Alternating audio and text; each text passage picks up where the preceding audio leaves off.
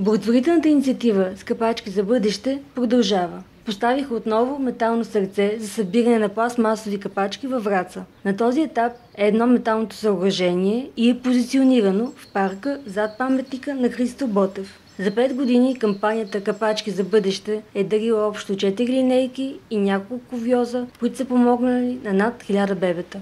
Кампанията за събиране на капачки от доста време има може би някои малки детайли в начина по който се организират нещата в национален план. Идеята е все повече всеки град или всяко населено място само да се грижи за организацията на събиране и предаване на капачки. В тази връзка се създават много такива, те ги наричат клубове за бъдеще. А, идеята е, че всяко населено място, което има интерес, може да инициативни хора от там да се захванат да организират събиране на капачки и други дейности, полезни за местната общност.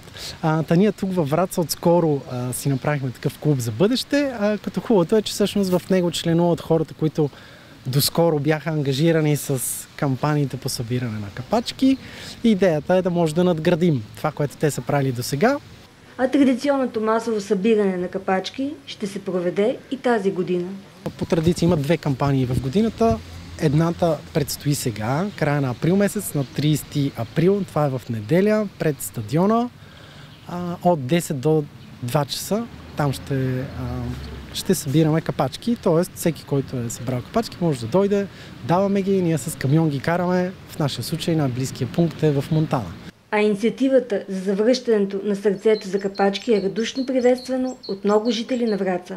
Тая инициатива е добра, каквото може да се помогне. В нашия блок в хода събираме в ФЕП две пластмасови такива 10 литрови шишета, събираме капачки най-редом. Двете са пълни догоре.